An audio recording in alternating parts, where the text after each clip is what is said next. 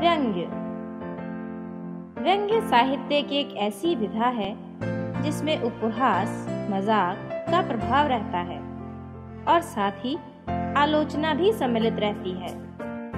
व्यंग्य का उद्देश्य यही है कि वह हमारी कमजोरियों और सामयिक अपेक्षाओं से हमें परिचित कराए। आचार्य हजारी प्रसाद द्विवेदी के अनुसार, व्यंग्य कथन की एक ऐसी शैली है जहाँ बोलने वाला अधरों में मुस्कुरा रहा हो और सुनने वाला तिलमिला उठे।